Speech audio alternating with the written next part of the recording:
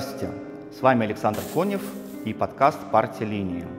Подкаст о том, как смотреть, понимать и изучать рисунки старых и новых мастеров на примере листов, хранящихся в Эрмитаже.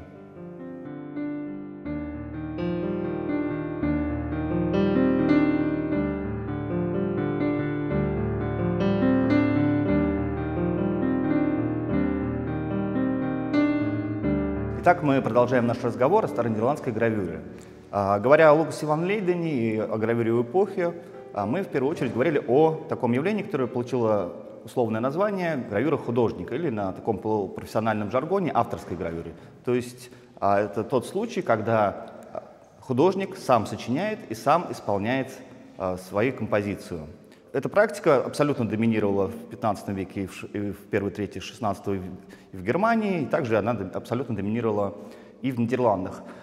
Несколько особняком тут стоит случай ксилографии. Ксилографию обычно резал а, профессиональный резчик. Но, насколько мы можем судить по документам, а, по каким-то упоминаниям, чаще всего это скорее ремесленник, за некоторыми исключениями, ремесленник, который сам не мог адаптировать композицию для гравюры. То есть художник непосредственно подготавливал ее для гравирования, непосредственно уже наносил рисунок на доску, а работа ксилографа сводилась к тому, что он просто уже вырезал готовый рисунок. То есть здесь, опять же, художник выступал э, практически, э, за исключением вот механической уже работы, практически э, гравером. А в гравюре же на металле гравер и художник — это одно лицо. Причем авторитет Дюрера в Германии, авторитет Лукаса ван Лейдена в Нидерландах, они делали эту практику как бы основной для гравюры. Да, гравюра по-другому не воспринималась. Совсем иная ситуация была в Италии. В Италии еще с 15 века традиционным стало разделение труда, работы художника и работы профессионального гравера, который воплощает уже непосредственно материал, Э, композицию, при, этом как в на металле это всегда так или иначе перевод, адаптация рисунка к, к, новому, к новому материалу, к новой технике. Рассвет этой практики приходится в Италии а, на первую треть XVI века, в то время как раз, когда в Нидерландах э, блистает Лукас ван Рейден, а в Италии в это время Марк Антони Раймонди а, начинает сотрудничество с Рафаэлем. Рафаэль предоставляет ему свои рисунки, Марк Антони а, а, гравируют их, приводят в гравюру. А, и с этого времени это вообще доминирующая для Италии практика. Да.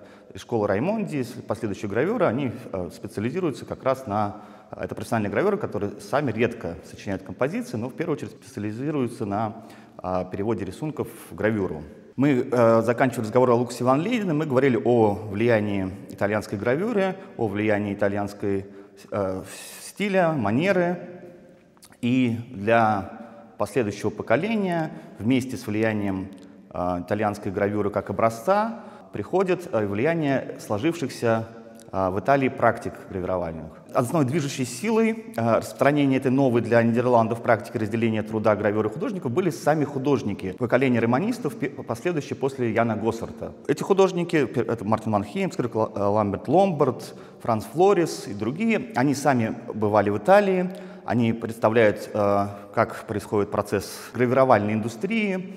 Они сами в своем творчестве постоянно обращаются к итальянской гравюре, и они очень хорошо представляют, каким мощным инструментом пропаганды, распространения своего искусства может служить гравюра. Соответственно, они сами заинтересованы, чтобы эта практика э, э, распространилась в Нидерландах, потому что не каждый может получить профессиональные навыки гравера или быть в этом талантлив, да, а разделение труда на профессионального гравера и художника позволяет Э, художнику не занимать гравюры, да, распространять свое искусство в Нидерландах и, по другим странам.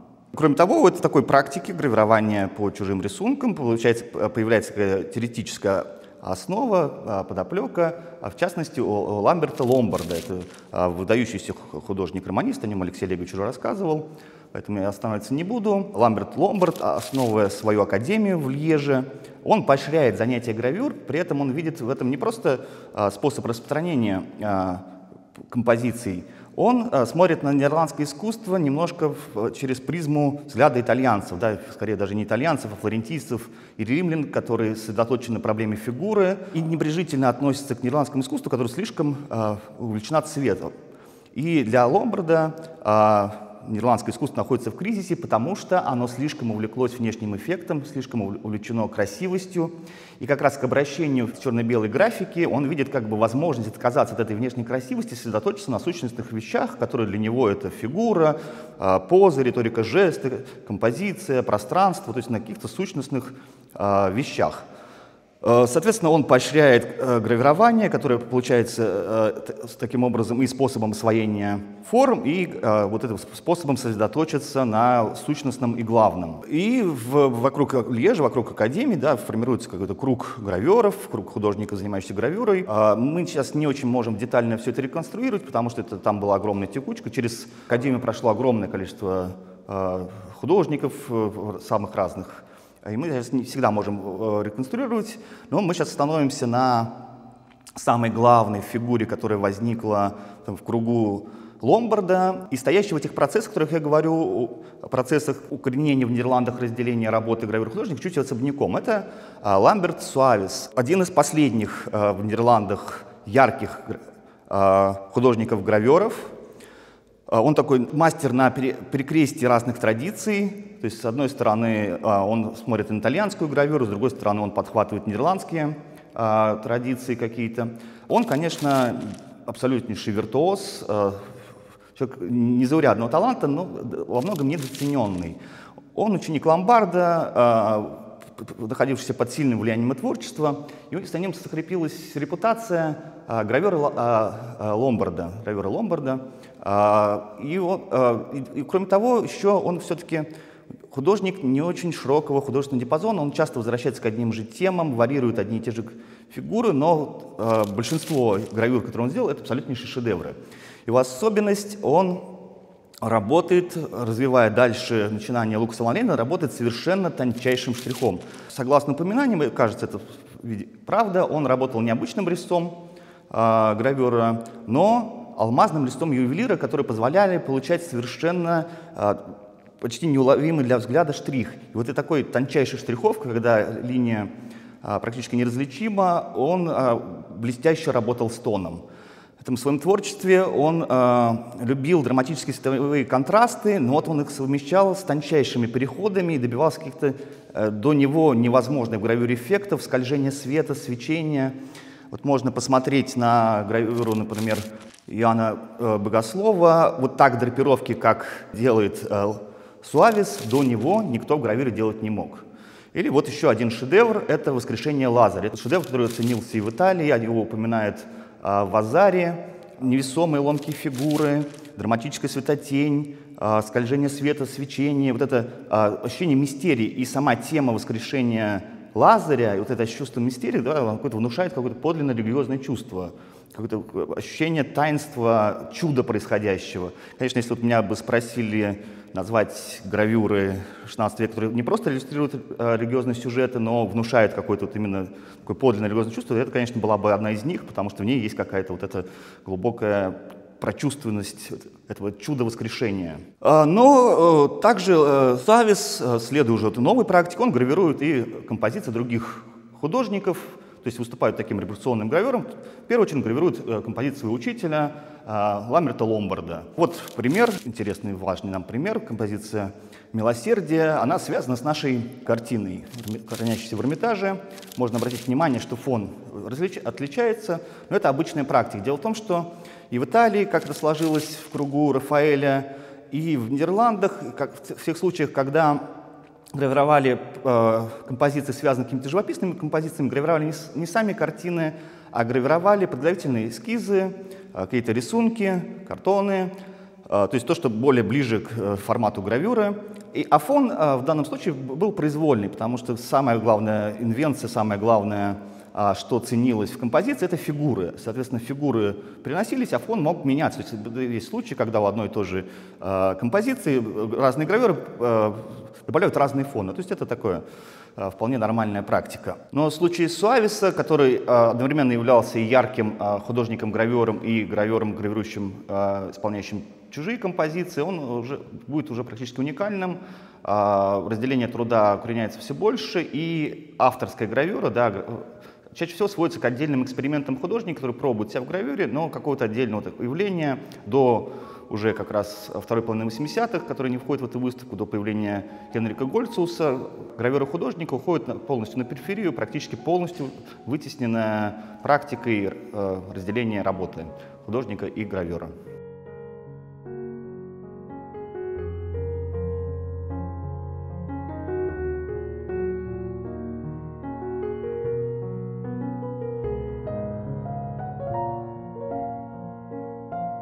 Одновременно с Льежем а, другой центр, скажем так, новой гравюры возникает в Харлеме на севере. А, там ключевой фигурой для этих новых процессов а, играл художник, о котором Алексей Олегович уже говорил, Мартин ван Хеймскирк. Мартин ван Хеймскирк возвращается из обучения в Риме, где он погружался в классическое искусство, в искусство школы Рафаэля, на основе которых он потом э, создаст свою, свою очень яркую, индивидуальную, экспрессивную манеру. И вернувшись в Харлем, он, видимо, ищет а, гравера для создания гравюр по своим произведениям, то есть по образцу итальянских практик.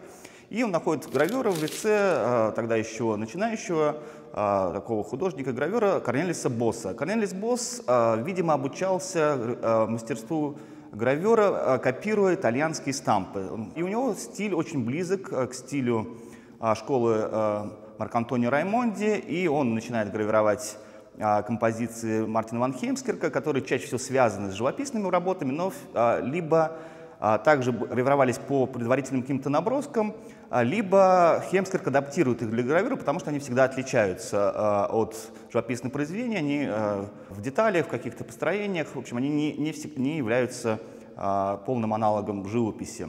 Вот одна из э, таких гравюр, которую создает Корнелис Босс, «Триумф Вака». Э, она связана с картиной, которую Хемскерк то ли э, выполнил еще во время пребывания э, в Италии, то ли сразу по возвращении. Она еще очень насыщена художественной эрудицией, которую Хемскерк получил в Риме. Здесь много цитат из разных э, мастеров, не цитат, скорее парафразов, да, переработанных, переосмысленных таких цитат из художников Возрождения, из античной пластики, из Монтени. Очень, очень, это такое прям э, энциклопедия разных форм, фигур, взятых из самых разных граней классического э, римского искусства. А с этой гравюрой, э, которая была необычайно популярная, связан такой историографический парадокс. Э, дело в том, что композиция гравюра не раз копировалась, и Одна из копий начала 17 века была подписана, что автор ее Джулия Романа. В итоге в литературе сложилась такая парадоксальная ситуация в научной литературе, когда в Италии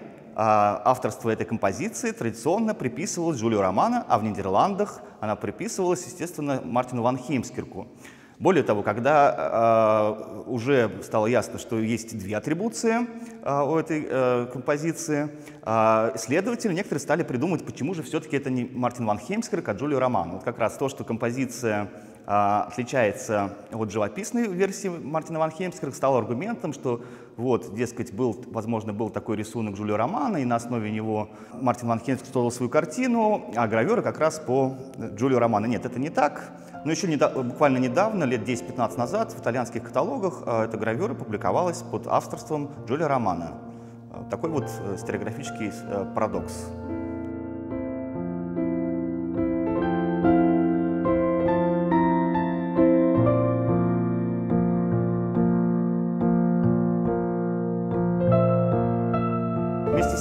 Для нидерландской гравюры даже в целом больше для европейской гравюры стало сотрудничество Мартина Ван Хемсинга не с Корнелисом Боссом, а его встреча, знакомство и сотрудничество э, с Дирком Конхертом. Дирк Конхерт — это э, гуманист, поэт, религиозный мыслитель, политический деятель и много-много кто еще, но он также занимался гравюрой.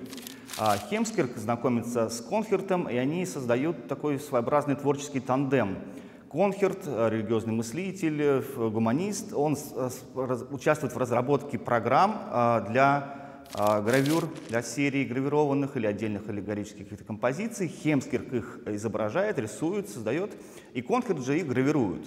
Это сотрудничество, повлиявшее на, очень сильно на последующую религиозную гравюру, в первую очередь, важна и тем, что здесь возникает новая практика а, Мартин ван Хеймскирк с этого времени работает уже специально для гравюры. То есть если раньше э, гравированные композиции так или иначе были связаны с его живописными работами, то сейчас он целенаправленно создает э, рисунки специально для гравирования. Эта практика вскоре станет в Нидерландах абсолютно э, доминирующей, то есть это какое-то сотрудничество Хеймскирка и Конкер такой символический рубеж начала этого нового процесса. Безусловно, он повлиял на, как прецедент на других, но причины были не только в этом. А сама гравюрная жизнь подводила к тому, к такому сотрудничеству художников. Здесь нужно э, заметить, что в Италии такая практика, естественно, тоже была, но в Италии уже с 1530-х годов станет репродуцирование уже готовых произведений. То есть Рафаэля, Микеланджело, античные скульптуры, других художников. В Нидерландах эта практика не приживется совсем.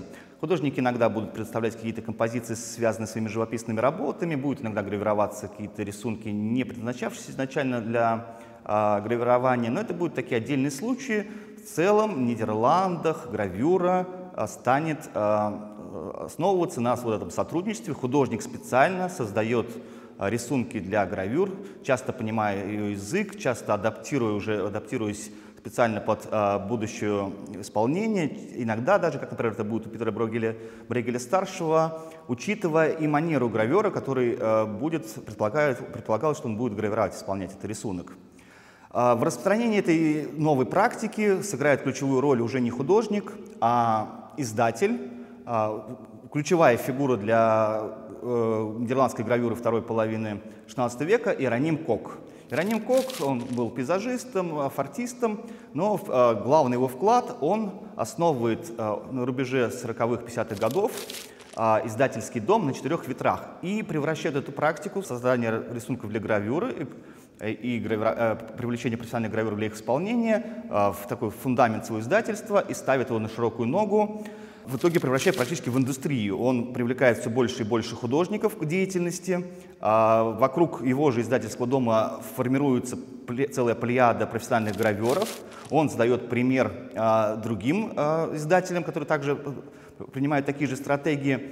И а, буквально там, за десятилетия, за 15 лет а, Антверпен, в котором основывается это издательство, становится ведущим центром а, севернее Альп издание гравюр. С, э, Антверпен, с Антверпеном соперничает только Рим, который пока превосходит, но вот Антверпен, в которого до э, Иеронима Кока гравюры на металле практически не было, становится абсолютно доминирующим центром. А сам Иероним Кок занимается э, э, издательской деятельностью чуть больше 20 лет, а, издаст а, по разным подсчетам 1200-1300 гравюр, и это для того времени колоссальное число, то есть это невероятный масштаб за 20 лет. Столько гравюр э, издать, это только Антонио Лафрери в Риме превосходил по количеству изданных гравюр Иронима Кока. А, вот этот рассвет издательской гравюры, а, он, конечно, обязан не просто персонажу Иронима Коко. А, Антверпен — это торговая столица с огромными рынками с, сбыта, который уже с налаженной сетью каналов. Гравюра, гравюры антверпенские расходятся по всей Европе, Испания, Франция, Португалия, Италия, Германия. Это там, где были просто лавки, в которых продавались непосредственно гравюры, изданные в Антверпене, а также она расходилась и дальше, от э, Польши до Америки. В этой ситуации э, вот такого успеха, такого расцвета э, практически вся нидерландская гравюра оказывается изданной в Антверпене, потому что конкурировать э, с таким центром э, практически невозможно. Да? То есть оставались какие-то локальные еще художественные центры, но они совсем уходят в тень, потому что полностью на рынке доминирует э, Антверпен. А более того, он аккумулирует силы, можно сказать, со всех Нидерландов. Например, харлемцы, э, а, я забегая вперед скажу, что Ироним Кок э, привлек к своей деятельности Конхерта и Мартина ван Хеймскерка, которые работают на него. А впоследствии Филипп Гале, видимо, живший также в Харлеме Корнелис Корт, они тоже работают на тверских издателей. Например, э, Филиппу Гале и Корнелис Корту в Харлем присылают рисунки, они создают гравюры, и, доски гравированные переправляются потом в Антверпен, то есть даже художники и гравюры, живущие в других городах, они все равно работают на эту э, антверпенскую индустрию гравюр.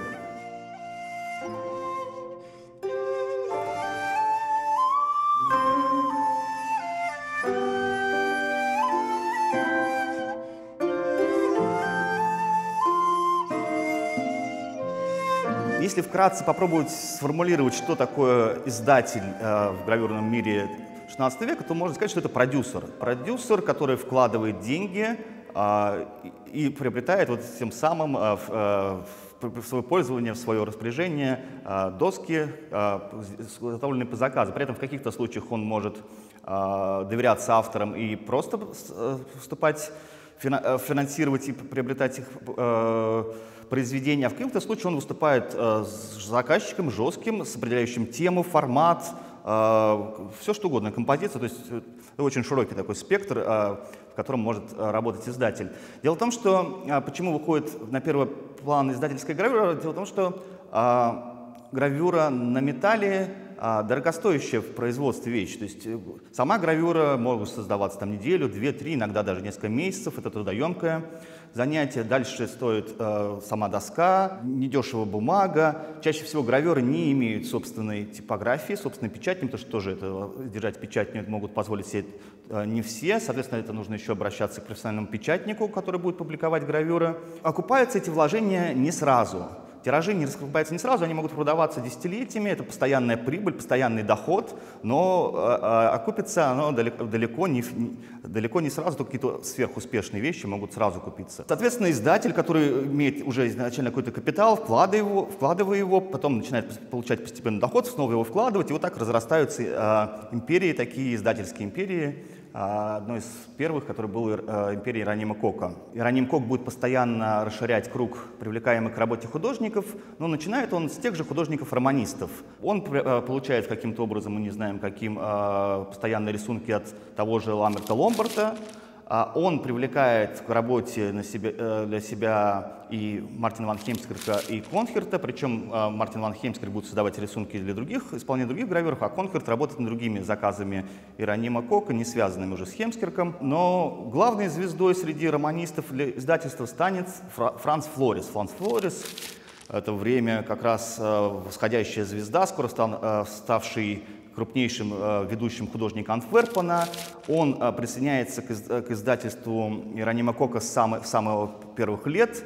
То есть он находит, как в лице Иеронима Кока, такого же издателя подобие итальянского для своих композиций, а Иероним Кок находит в него такого главного поставщика а, композиций в итальянской манере на самую-самую разную тематику. Вот можно обратить внимание на то, что у нас выставлено. Тут и аллегории, и мифологические сюжеты. А, то есть весь спектр всевозможных классических сюжетов Флорис представляет Ирониму Коку.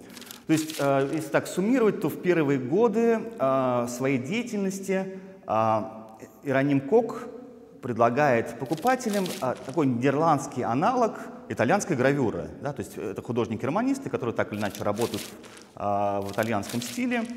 А, здесь Ироним Кок, конечно, попадает вот такой э, разрастающий спрос в итальянской гравюре, потому что в Нидерландах ширится внимание к Италии, ширится внимание к классической культуре, классической образованности, соответственно, интерес к итальянскому искусству, растет спрос на итальянскую гравюру, которой не хватает, и вот как раз Ираним Кок предоставляет ну, вот наша нидерландская версия итальянской гравюры, то, э, вот, э, примерно то же самое, нашими мастерами.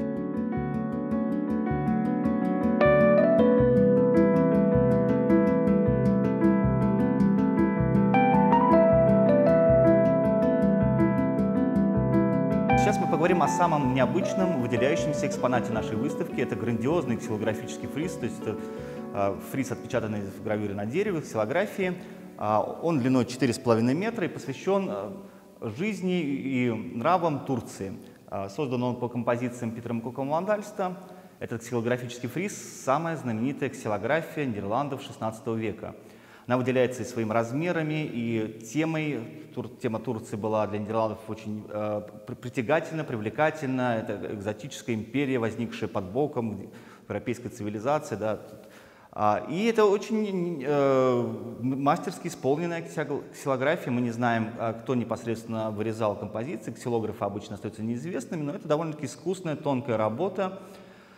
А, и эта работа выделяется в целом и по теме, и по композициям, и по формату. Выделяется, в общем-то, всей а, продукции ксилографической того времени. Делали самый успешный, самый известный гравюрой ксилографии Нидерландов. Биограф нидерландских художников, э, художник Карл Ван Мандер в своей книге, посвященной жизнеописаниям жизнеописание нидерландских и немецких художников обычно не останавливается на гравюрах подробно, вскользь их упоминает, но на истории создания этой гравюры он останавливается особо и отдельно. А, история, которую он э, передается, звучит так. А, в 1533 году по поручению некой купеческой семьи, занимавшейся э, производством и торговлей шпалерами, Питера Кука Ван Альста, уже в то время известного э, художника, а, отправили эмиссаром в Стамбул, тогда еще Константинополь, для получения заказов от, на шпалеры от султана Сулеймана Великолепного. По словам Карла Ланмандера, а, Питер Кукванальд приехал в Константинополь, но заказов ему получить не удалось, и чтобы не тратить время впустую, не проводить время в праздности, он начал рисовать различные обычаи а, нравы турок, и потом впоследствии это, это, эти, его рисунки были опубликованы. Карл Мандер писал биографию Кока Ванальста спустя уже э, многие годы после смерти э, Питера Кока Ванальста. Питер Кока Ванальст умер в 1550 году.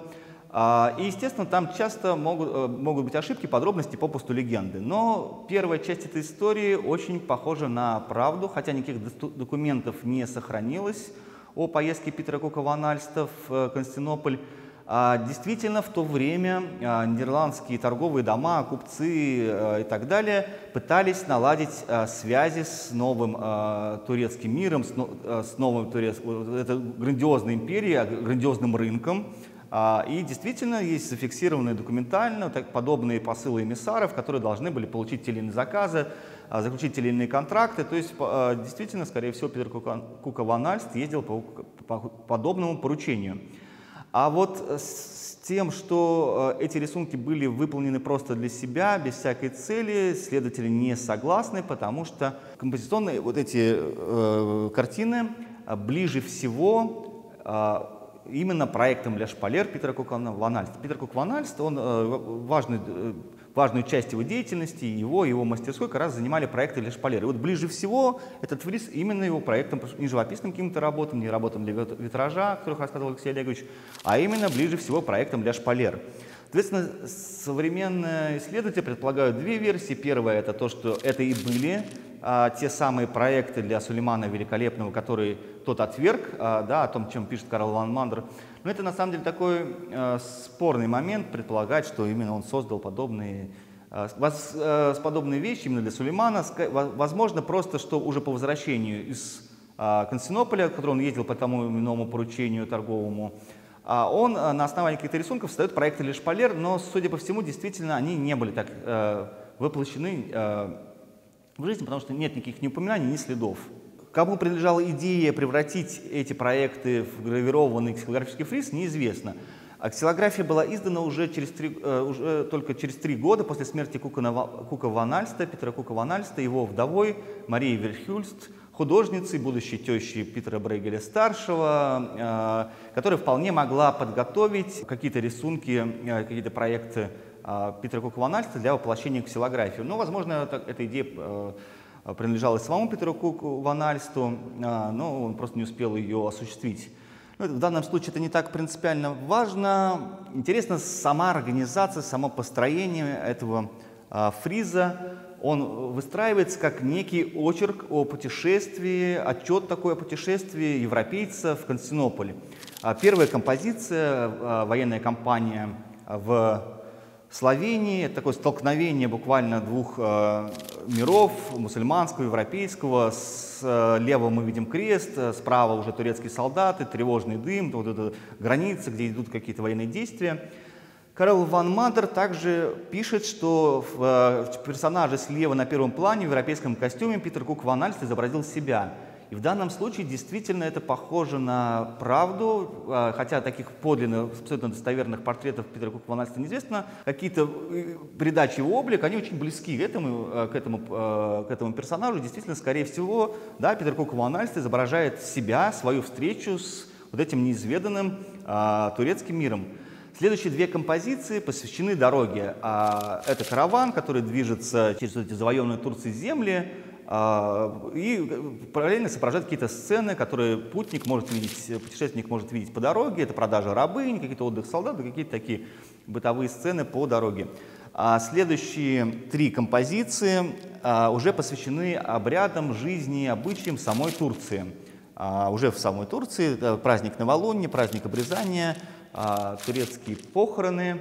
И, наконец, кульминация всего этого путешествия, то есть, да, вот встреча миров, э, двух цивилизаций, путь, э, собственно, путешествие уже по самой Турции неспешно.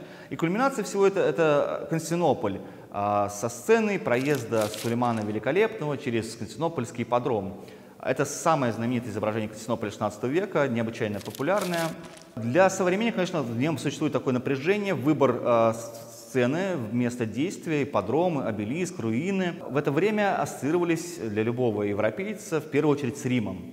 И здесь вот есть такой э, диссонанс э, острый, э, вот этот Рим, э, Константинополь второй Рим, вот это второй Рим, и э, здесь же мусульманская процессия, процессия султана, это все надо еще воспринимать в свете турецкой угрозы, которая все равно висела над Европой. Часто э, вносились идеи крестовых походов, да, то есть нужно понимать, что вот эта сцена, а, некий условный Рим, наша цивилизация, да, наша вот эта цивилизация э, и турецкая процессия, с одной стороны, это вот, тут есть какой-то пиетет действительно к э, Сулейману, он ну, изображен довольно-таки вот эта вся процессия с таким уважением, но вот есть такой для любого европейца того времени такой очевидный диссонанс, неуместность, никогда необычность происходящего. Говоря о том, что это такие путевые заметки, я, конечно, имею в виду сами темы, но не сами картины, потому что в действительности это, конечно, очень продуманные, тонкие, выверенные а, композиции. Питер Кук Ван Вальст вообще Э, необычайная художественная э, эрудированность человек. Здесь есть парафразы ну, в том смысле, что здесь он берет за основу разработки сцен широчайший э, круг каких-то памятников, на которые он опирается. Здесь и дюрер, и какая-то античная пластика, и все, чего только нет. То есть он как бы здесь сказывается эрудиция, это выверенные Э, выстроенные композиции. Э, по сути, это такие э, в итальянизированном уже таком стиле, но с той же, с, с обычной для Нидерландов склонностью с рассказом. Да? То есть такая историческая в широком смысле итальянская картина, в которой еще присутствует вот такая склонность к повествованию, к подробностям, к рассказу, характерно для Нидерландов. И надо сказать еще, что такой способ представления иных культур цивилизаций, он станет, э, в общем-то, благодаря этому фризу, станет э, одним популярным для каких-то этнографических в широком плане э, зарисовок, композиций, то есть одним из вариантов изображения иного, да, иных культур для Америки, Индии и так далее. То есть это такая влиятельная и в этом плане композиция. То, что мы могли, смогли выставить, конечно, безусловно, удача. Из-за нестандартного, необычного размера ее даже иногда э, в каких-то хранилищах, фондах, музеев невозможно посмотреть просто потому, что просмотровых столов 4,5 метра часто нет, да, то есть ее и не выставить, не посмотреть часто невозможно. И тут огромная благодарность нашим дизайнерам, оформителям, которые сделали специальную витрину на стену, да, экспонирование. И это довольно-таки редкий случай. Обычно выставляется а, либо одна композиция чаще всего въезд а, в Константинополь, либо две, но вот целиком он э, вот в таких-то известных случаев это единицы. Я имею в виду не в России, в России он не выставлялся, видимо, никогда, я имею в виду во всем мире. Да? То есть при том, что во всем мире много этих экземпляров в библиотеках, в музеях, выставляется он крайне редко, и вот мы, наконец, смогли его показать э, впервые. Да, когда-то, видимо, до э, Великой Отечественной войны как раз весь Константинополь, судя по каким-то наклеенным на него лапкам, он выставлялся, видимо, возможно, какой-то экспозиции, но с тех пор вот не целиком фриз, не остальные другие отдельные из него листы, отдельные композиции никогда не экспонировались. То есть это большая удача, что нам удалось вот наконец показать это необычное произведение.